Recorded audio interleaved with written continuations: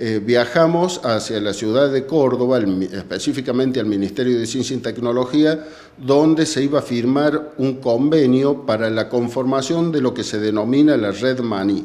Eh, ¿Qué es lo que es la Red Maní en definitiva? Es una asociación entre distintos, entre distintos sectores que participan en la cadena productiva del maní argentino eh, para intentar agregar valor al producto.